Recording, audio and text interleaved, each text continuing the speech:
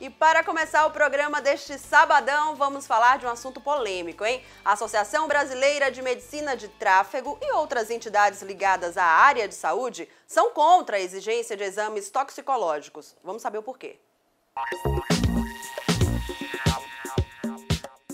A Abramet e outras entidades ligadas às áreas de saúde e jurídica são contrárias à entrada em vigor, desde o dia 2 de março, da deliberação número 145, de 30 de 12 de 2015 do Conselho Nacional de Trânsito, o CONTRAN, que estabelece a obrigatoriedade do exame toxicológico de larga janela de detecção, para identificar o uso de drogas por pessoas que necessitem se habilitar, renovar ou mudar para as categorias C, D e E para a Associação Brasileira de Medicina de Tráfego as normas que o CONTRAN utiliza na realização dos exames para identificar se os motoristas usaram drogas em um curto período, como a retirada de pelos e unhas, é ineficaz em diversos aspectos e está causando muito transtorno para todos os condutores. Pela lógica, o motorista usuário de drogas só mudará seus hábitos no curto período em que antecede ao teste.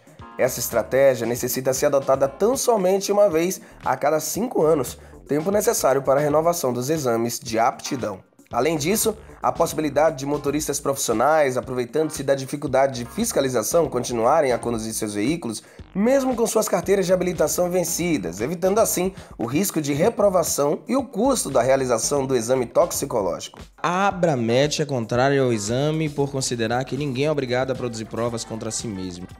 A Abramet é contrária ao exame não só por isso, Léo mas também pelo fato de, é, da ausência de um respaldo teórico, técnico-científico é, para a aplicabilidade desse exame.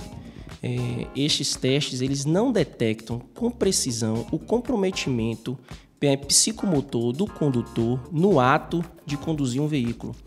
Ele é um exame de larga janela de detecção que detecta dos últimos 90 dias a presença de substâncias psicoativas. O ideal seria identificar é, essa presença de substâncias psicoativas naquelas pessoas que estão conduzindo. O próprio Código de Trânsito Brasileiro fala que é infração gravíssima é, conduzir veículos sob efeito de álcool ou drogas psicoativas que possam causar dependência. Então a relação não é o fato de usar uma droga psicoativa, e sim usar e conduzir um veículo.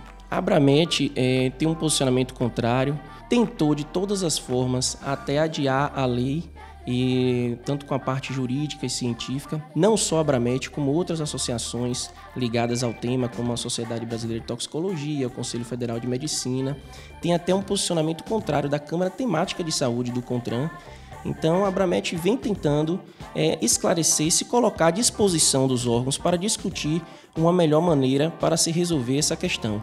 Dos 184 países que fazem parte da década da ação pela segurança do trânsito, nenhum utiliza o exame toxicológico de larga janela para reduzir a violência no trânsito.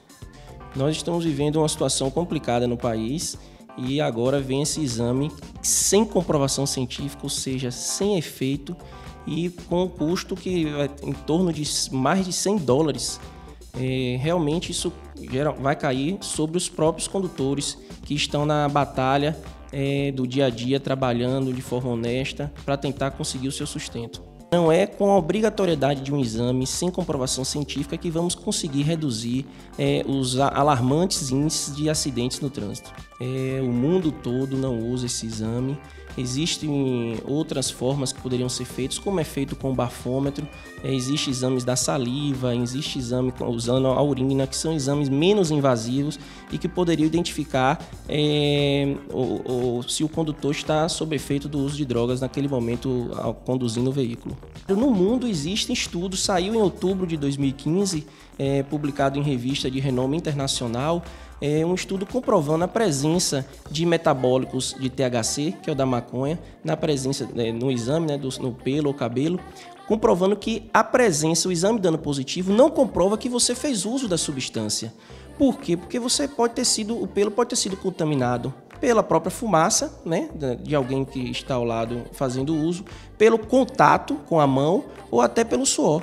Então é comprovado que esse exame não tem comprovação científica técnico-científica para reduzir os acidentes de trânsito. Nós não entendemos por que esse exame está sendo é, obrigatório. É, dá, poderíamos, poderíamos fazer de várias outras formas para tentar reduzir. É só seguir os exemplos de outros países que têm reduzido o número de acidentes, de sequelas no trânsito, e nenhum deles utilizam essa medida. Quem não está gostando nada disso são os motoristas, que trabalham justamente para sobreviver. Edmilson, o que, é que você acha desse exame toxicológico que está sendo obrigado todo mundo a fazer agora? Eu acho um absurdo sendo obrigado. Poderia ser uma opção.